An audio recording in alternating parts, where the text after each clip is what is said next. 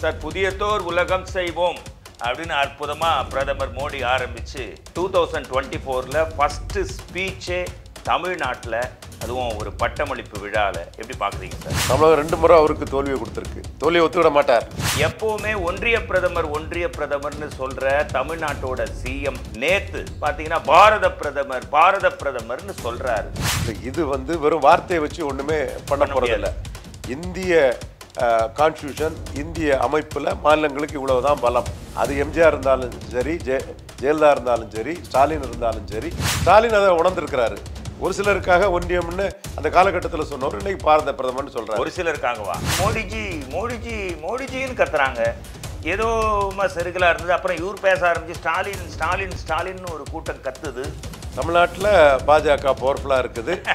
DMK versus மீட்டிங்ல குரல் கொடுத்ததா இல்லையா? டிஎம்கே வர்சஸ் பாஜகங்கிற ஒரு மோடி ஓபிஎஸ் மீட் எடப்பாடி பழனிசாமிக்கு மிகப்பெரிய எதிர்ப்பு. கொங்கு கொங்கு மண்டலத்தில் கொங்கு வேளாளர் அல்லாத ஜாதியினரிடம் இருக்குங்கிறதும் வட தமிழகத்தில் வன்னியர் அல்லாத ஜாதியினரிடம் இருக்குங்கிறதையும் மோடிக்கு தெரிஞ்சு போச்சு. அவர் எடப்பாடி எப்படி நம்பிக்கை துரோகம் நம்பகத்தன்மையற்ற செயல் அரசியல் அரசியல்வாதிங்கிறத அவர் ஓபிஎஸ் தள்ளிட்டாருன்னா மோடிக்கு அந்த ஃபார்முலாவே அடிக்கிறாரு இபிஎஸ் அப்போ மோடியோட ஒரு வேண்டுகோளுக்காக அரசியல் அரங்கத்தில் சில பாதிப்புகளை அடைந்தவர் ஓபிஎஸ் அதிமுக மூலமாக மோடி பிரதமர்னு ரெண்டாயிரத்தி பத்தொன்பதாம் ஆண்டுகள் கிடைத்தது. அந்த வாக்கில் பெரும்பகுதியை ஓபிஎஸ் கொண்டு வர முடியும். அந்த அளவுக்கு ஓபிஎஸ்க்கு ஸ்டாச்சர் இருக்குது. இருக்கு. அதனால தான் நான் சொல்கிறேன் இபிஎஸ்க்கு எதிராக இடி சிபிஐ ஐடி எதுவுமே வராதுங்கிறத நான் சொல்லிட்டு இருக்கிறேன் வராது. என்னிடம் இருக்கும் ஆதாரங்களை காட்டினால் இபிஎஸ் கம்பி என்ன வேண்டியிருக்குன்னு சொல்லி அஞ்சாவது நாள்ல மோடியை மீட் பண்றாரு. ஃபைல் கொடுத்தாரு அரசியலில் அமைதியாக இருந்து சில காய்களை நகர்த்துறது வந்து மிக முக்கியமானது. அதே வேளையில் போட வேண்டியது போட வேண்டிய நேரத்தில் போட்டு வச்சிடணும். ஹலோ ஃப்ரெண்ட்ஸ் வணக்கம். நான் மோகன்ராஜ் இது கோல்டன் சான்ஸ் பொலிட்டிக்கல் அனலிஸ்ட் என்னோட ஃபேவரட் ரவீந்திரன் துரைசாமி சார். வணக்கம் சார். வணக்கம் மோகன்ராஜ் சார் புதியதோர் உலகம் செய்வோம் அப்படின்னு அற்புதமா பிரதமர் மோடி ஆரம்பிச்சு நியூ இயர்ல டூ தௌசண்ட் டுவெண்ட்டி ஃபோரில் ஃபஸ்ட்டு ஸ்பீச்சே தமிழ்நாட்டில் அதுவும் ஒரு பட்டமளிப்பு விழாவில் எப்படி பார்க்குறீங்க சார் இந்த பாரு தோல்வியை ஒத்துவிட மாட்டார். தமிழகம் ரெண்டு முறை அவருக்கு தோல்வியை கொடுத்துருக்கு. தமிழகத்தில் ஒரு குறிப்பிடத்தக்க வெற்றியை பெறணுங்கிறதுல மோடி உறுதியாக இருக்கிறாரு. ஓகே. அதற்கான இன்டிஃபெக்டிபிள் ஒர்க்கர் மிக கடுமையாக வேலை செய்கிறாரு அதை பற்றி சிந்திக்கிறாரு. இது இதை விட்டு ஒதுங்கி போயிடக்கூடாது. எப்படியாவது இங்கே வந்து சாதிக்கணுங்கிறதுல தெளிவாக இருக்கிறாரு.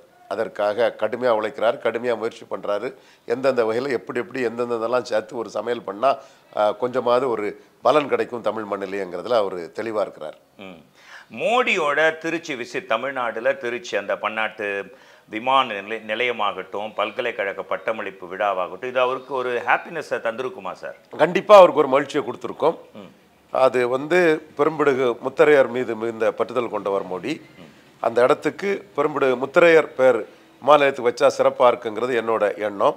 சத்ரபதி சிவாஜி ஏர்போர்ட் இருக்கிற மாதிரி கோலி சத்திரியர்களை அங்கீகரிக்கக்கூடிய மோடி வந்து ஒரு கோலி சத்திரியர்களும் முத்திரையரும் ஒரே இனம்ங்கிற ஒரு ஆய்வு கூட மத்திய அரசு போட்டிருக்காங்க. இன்னும் அந்த ஆய்வு ரிப்போர்ட் வரல.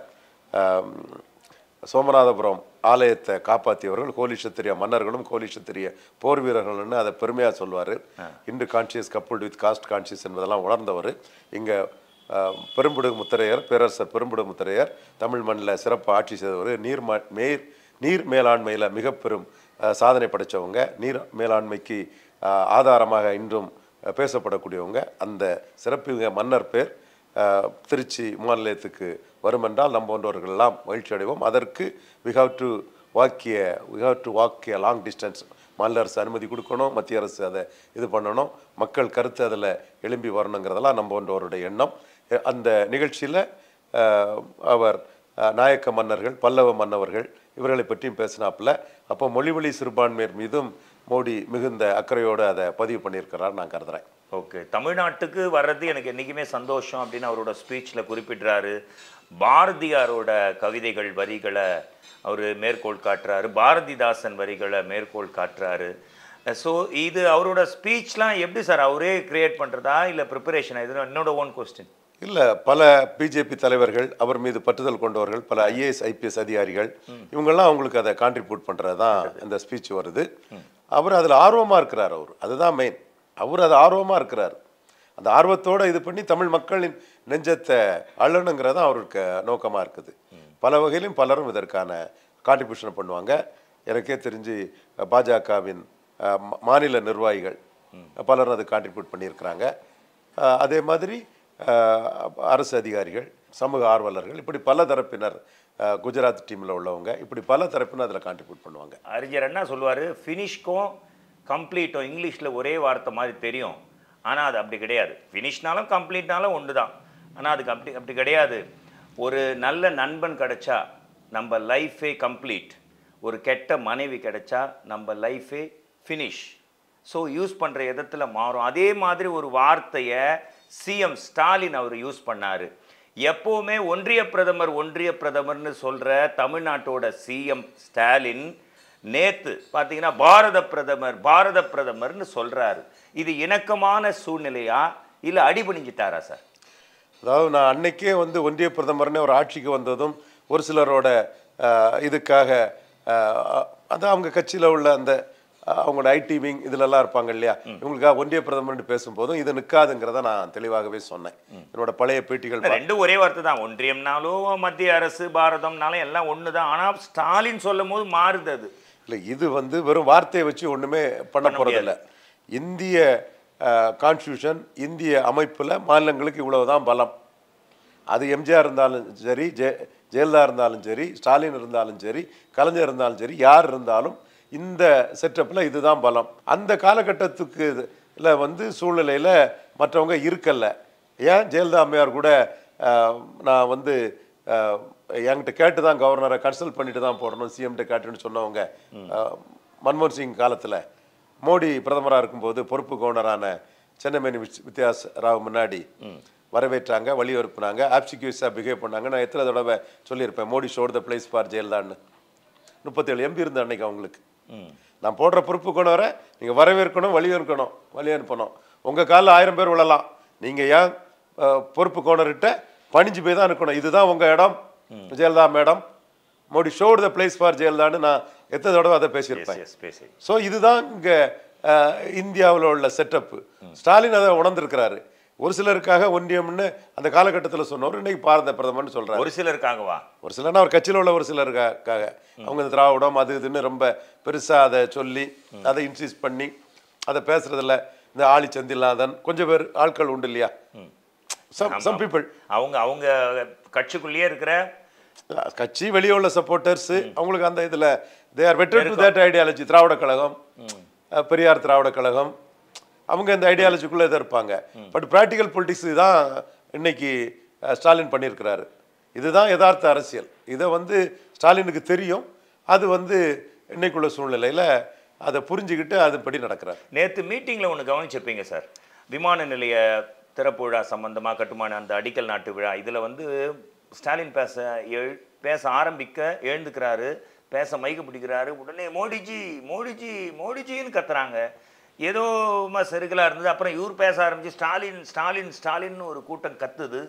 இது எதை காட்டுது சார் இந்த மாதிரி? தமிழ்நாட்டில் பாஜக பவர்ஃபுல்லாக இருக்குது. டிஎம்கே ஒரு மீட்டிங்கில் குரல் கொடுத்ததாலியா டிஎம்கே வர்சஸ் பாஜகங்கிற ஒரு இதை கொண்டு வந்துடலான்னு பாஜக நம்பினாருங்க நம்புறாங்க. கை கட்டார் அமைதியா இருங்கன்னு மோடிஜின்னு சொல்லும் போது அந்த அளவுக்கு தமிழ்நாட்டில் பாஜக ஆர்கனைஸ் பண்ணியிருக்காங்கன்னா அது பாராட்டக்கூடிய விஷயம்தான். ம். வரலாறு காணாத நிதியை வந்து தமிழ்நாட்டுக்கு நாங்கள் கொடுத்துருக்கோம் அப்படின்னு மார்த்தட்டி சொல்கிறார் ரெண்டாயிரத்தி பதினாலை விட கிட்டத்தட்ட ரெண்டரை மடங்கு அதிகமான நிதி கொடுத்துருக்கோம். அப்படின்ற மாதிரி சொல்கிறாரு கிளியரா sir is that true sir மத்திய மாநில அரசுக்கு இடையில இந்த மாதிரி லாவணி அரசியல் இருந்துகிட்டு தான் இருக்கும். ஒரு பிரதமர் அப்படி அனௌன்ஸ் பண்ணலாமா சார் டேட்டா இல்லாமல் சொல்லியிருக்க மாட்டார் பட் இந்த லாவணி அரசியல் இருந்துகிட்டு தான் இருக்கும். ஒருத்தர் ட்வீட் பண்ணியிருக்காரு சார். வரலாறு காணாத வகையில் குறைவாக தமிழ்நாட்டிற்கு நிதி வழங்குகிறது பாஜக அரசுன்னு நேற்று சூர்யா கிருஷ்ணமூர்த்தின்றவர் ட்வீட் பண்ணியிருக்கிறாரு சூர்யா கிருஷ்ணமூர்த்தி அது சம்மந்தமாக அதான் டேட்டா இருக்கலாம். இருக்கு அவர்கிட்டயும். நானும் அந்த டேட்டாவை செக் பண்ணிட்டு சொல்கிறேன் யதார்த்தத்தை என்னன்னு சொல்கிறேன் மற்றவங்கள்ட்ட வேறு டேட்டாக்கள் இருக்கலாம். ஸோ பிரதமர் அதை சொல்கிறாருன்னா அவருக்கு டேட்டா இல்லாமல் அதை சொல்லியிருக்க மாட்டார். எந்த கம்பேரிசனில் சொன்னாருங்கிறத நம்ம பொறுத்திருந்து பார்க்கணும். சொல்லியிருக்க மாட்டார். மோடி ஓபிஎஸ் மீட். ஓபிஎஸ்ஸை கேட்டால் இது வந்து அரசியல்லாம் நாங்கள் எதுவும் பேசல மரியாதை நிமித்தமாக சந்தித்தோம் வாழ்த்து தெரிவிக்க தான் நாங்கள் மீட் பண்ணோம் அப்படின்னு. அதுக்கு முக்கியமான காரணம் அந்த சந்திப்புக்கு முக்கியமான காரணம் யாருன்னு எனக்கு தெரியும். சொல்ல வேணாம் நீங்கள் மோடியோட ஆதரவாளர் ஓபிஎஸோட அவருக்கும் சின்ன அளவில் பற்றாளர் நீங்கள் ரெண்டு பேரும் இணைக்கணுன்ற ஒரு முன் முயற்சியில் இருக்கீங்க. ரெண்டாயிரத்தி இருபத்தி நாலு உங்களுக்கு ப்ள பீஸ்ஃபுல்லாக ப்ளசண்ட்டாக ஸ்டார்ட் ஆயிருக்கா சார் அவங்க மீட்டு? கண்டிப்பாக ஏன்னா மோடி வந்து தெள்ள தெளிவா ரெண்டாயிரத்தி பதினாலை விட ஒரு பெரிய பெர்சன்டேஜும் ரெண்டாயிரத்தி பதினாலை விட அதிக சீட்டும் வரணும்னு நினைக்கிறாரு. ரெண்டாயிரத்தி பத்தொன்பது பிளாப் அலையன்ஸ்னே மோடிக்கு தெரிஞ்சு போச்சு. எடப்பாடி பழனிசாமிக்கு மிகப்பெரிய எதிர்ப்பு கொங்கு கொங்கு மண்டலத்துல கொங்கு வேளாளர் அல்லாத ஜாதியினரிடம் இருக்குங்கிறதும் இங்க வட தமிழகத்துல வன்னியர் அல்லாத ஜாதியினரிடம் இருக்குங்கிறதையும் மோடிக்கு தெரிஞ்சு போச்சு. மோடி வந்து ரெண்டாயிரத்தி பதினாலு டைப் அலையன்ஸ் தான் விரும்புறாரு. அவர் முன்னிலையில் அவர் பிரதமர்னு அவரை ஏற்றுக்கொள்ளக்கூடிய கட்சிகள் அலையன்ஸுங்கிறத தான் விரும்புகிறார் இதைத்தான் நாம் சொல்லிக்கிட்டே இருந்தோம் பத் பத்தொன்பதா பதினாலாங்கிறது அண்ணாமலையும் பதினாலு சென்ட்ரிக்கு தான் கரெக்டுங்கிறத தெள்ள தெளிவாக விளக்குனாரு எனக்கு தெரிஞ்சவரை அண்ணாமலை இதில் தெளிவாக விளக்கி ஓபிஎஸோட அவசியத்தையும் விளக்கி இபிஎஸை வச்சு சீட்டு வராது. இபிஎஸோட நடவடிக்கைகள் அபகரிக்க முயற்சி. இதெல்லாம் வந்து கொங்கு மண்டலத்திலே மிகப்பெரிய எதிர்ப்பு இருக்குது. வன்னியர் மண்டலத்திலையும் பெரிய எதிர்ப்பு இருக்குது. அதையும் தாண்டி ஈரோடு கிழக்கு அந்த ஆதாரத்தையும் புள்ளி விவரத்தோட கொடுத்து கோயம்புத்தூர் மக்களவைத் தேர்தல் பதினாலு பத்தொம்போதையும் கொடுத்து பதினாலு தான் பெட்டருங்கிறத அண்ணாமலை தெளிவாக எக்ஸ்பிளைன் பண்ணிட்டார். அதில் ஓபிஎஸ் மிக அத்தியாவசியமான சக்தி மிக தேவையான சக்தி ஓபிஎஸ் லட்சோப லட்சம் தொண்டர்கள் ஓபிஎஸ் முன்னாடி இருக்காங்கன்னு ஏற்கனவே பேசினார். அவருடைய குடும்ப ஒரு இரங்கல் நிலைவுக்கு நிகழ்வுக்கு வரும்போது அப்போவே அண்ணாமலை பேசினார். அதையும் எக்ஸ்பிளைன் பண்ணி ஒரு கூட்டணி அமைப்பதற்கான முயற்சியில் அண்ணாமலை இருக்கிறாரு. அதில் முக்கியமான சக்தியாட்டு ஓபிஎஸ் ஓபிஎஸ்ங்கிறது தமிழக பாஜகவின் கருத்தாக நான் பார்க்குறேன். மோடியை பொறுத்தவரை ஓபிஎஸ் மிக நன்றாக தெரியும். ஓபிஎஸ் வந்து மோடியின் வேண்டுகோளுக்கு இணங்கத்தான் இபிஎஸும் ஓபிஎஸும் ஒன்றா சேரும்போது ஓபிஎஸ் வந்து கட்சி எனக்கு கட்சிக்கு நான் தலைவர் ஆட்சி அவர்கிட்ட இருக்குன்னு தான் ஓபிஎஸ் சொன்னார். அதில் கொஞ்சம் குழப்பங்களும் பிரச்சனைகளும் வரும்போது ஒரு ஆட்சி இல்லாமல் போயிருமோங்கிற ஒரு சூழல் வரும்போது மீண்டும் அதிமுக பிளவுபடாண்டா ஒற்றுமையாக இருக்குங்கிற அடிப்படையில் மோடியின் வேண்டுகோளுக்கு இணங்க ஓபிஎஸ் வந்து ஒருங்கிணைப்பாளர் பதவியோடு இணை ஒருங்கிணைப்பாளராட்டு எடப்பாடி பழனிசாமியை ஏற்றுக்கொண்டார். ஒருங்கிணைப்பாளர் எட எடப்பாடி ஓபிஎஸ் இணை ஒருங்கிணைப்பாளர் என்று இபிஎஸ் ஏற்றுக்கொண்டார். ஃபிஃப்டி ஃபிஃப்டிங்கிற ஃபார்முலாவை ஏற்றுக்கொண்டார். அன்னைக்கு நடக்கக்கூடிய பஞ்சாயத்து அன்னைக்கு நாளைக்கு உள்ளது நாளைக்கு. ஓகே பட் இந்த இடத்துல டெப்டி சீஃப் மினிஸ்டருங்கிறத ஒரு குழப்பட்டார் அவருக்கு தெரியும் டெப்டி சீஃப் மினிஸ்டருங்கிறது வெறும் வார்த்தை தான். சீஃப் மினிஸ்டர் தான் ஆளின் ஆள்.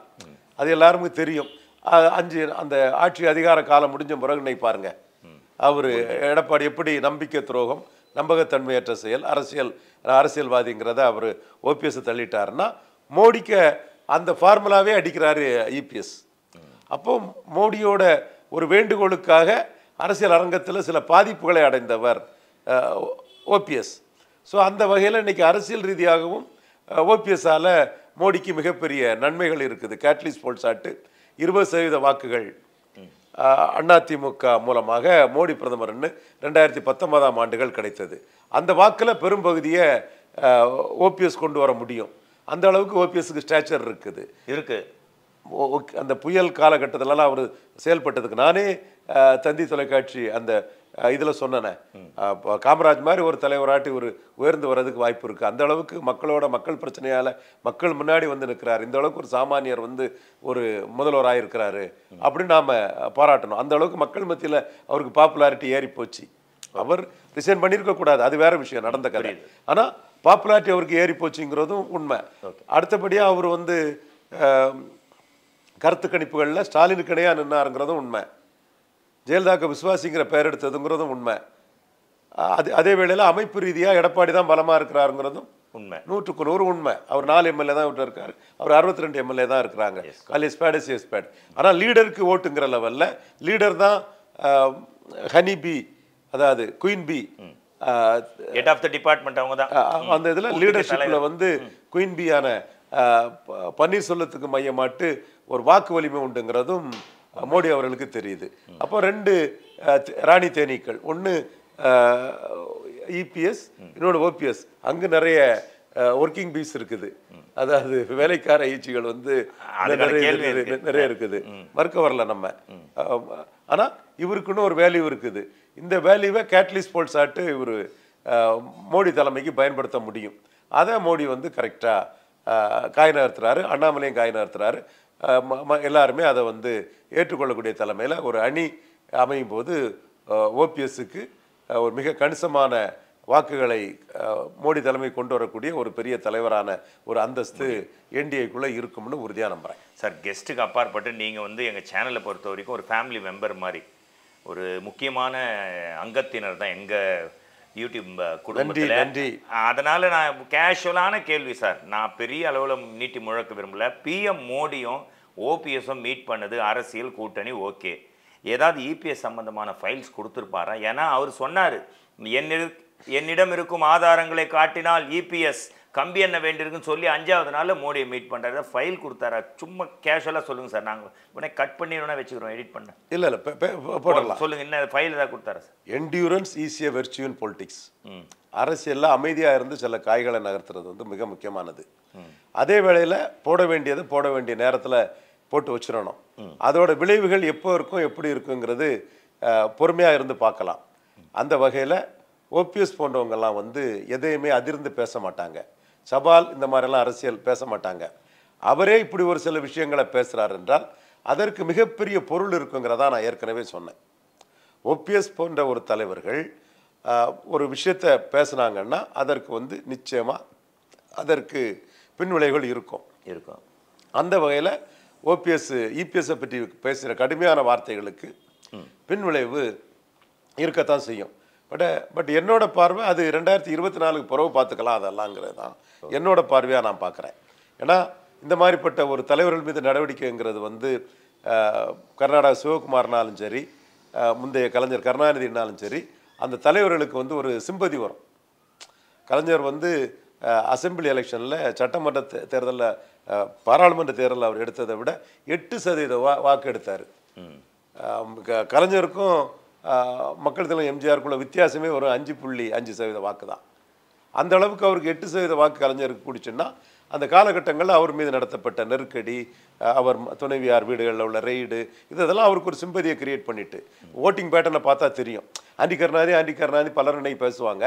அப்படி பேசக்கூடிய அறிவுஜீவிகளுக்கே நான் சொல்கிறேன் எழுபத்தேழு மக்களவையும் எழுபத்தேழு சட்டமன்றத்தையும் பாருங்கள் அது தெரியும். கர்நாடகாவில் சிவகுமார் அதனால தான் நான் சொல்கிறேன் இபிஎஸ்க்கு எதிராக இடி சிபிஐ ஐடி எதுவுமே வராதுங்கிறத நான் சொல்லிட்டு இருக்கிறேன். வராது.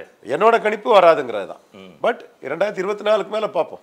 நேற்று ஃபுல்லாக கவர்மெண்ட் கான்ட்ராக்டர்ஸ் குறிப்பாக இந்த சிஎம்கே அவங்க கட்டுமான நிறுவனம் சத்தியமூர்த்தி வீட்டில் ரெண்டாவது நாளாக ரெய்டு. டோட்டலாக இந்த கவர்மெண்ட் கான்ட்ராக்ட் எடுத்து பண்ணுறவங்க கா சரி கான்ட்ராக்டர்னா ஒரு டிஎம்கே சப்போர்ட் இருக்குன்னு பார்த்தா ஏடிஎம்கே சப்போர்ட்டர்ஸ் அதில் இருக்காங்க. நீங்கள் சொன்ன இந்த இபிஎஸ் சப்போர்ட்டர்ஸ் வரைக்கும் இருக்கிறாங்க. இந்த லாக் எது sir full and full raid போயிட்டு இருக்கு சார் என்னோட பழைய பேட்டியை பாருங்க. செலக்டிவாக பண்ணக்கூடாது எல்லாத்தையும் பண்ணணும்னு சொல்லியிருக்கனா இல்லையா? ம். செலக்டிவாக பண்ணுனா அது நியாயம் இல்லை எல்லாத்தையும் பண்ணணும் இது வந்து இவங்களுக்கு கட்சி கிடையாது. இவங்களுக்கு கட்சி கிடையாது. இவங்களுக்கு கட்சி கிடையாது. இப்போ நீங்க இவர் எம்ஜிஎம் ரைடு இருந்தது. இவர் தினகரன் அந்த இதில் ரைடு இருந்தது. பிரேமா பேசி இருக்கதாட்டு அந்த ஏஜென்சிசிக்கு வந்து தகவல் போகுது. ஸோ அந்த தகவல் போகும்போது அதை மையமாக வச்சு ரெய்டுகள் வருது. இதில் வந்து யாரையும் ஹராஸ் பண்ணதுக்கான ரெய்டு அல்ல. அவங்களுக்கு ரைடு ஜென்யூன் சந்தேகம் இருக்கு. இவங்க தப்பு பண்றாங்க. மோசடி பண்றாங்க. வரி ஏய்ப்பு பண்றாங்க. ஏதோ இவங்க வந்து இல்லீகலா பண்றாங்க. ஸோ அவங்கள லீகலைஸ் பண்ணணும்.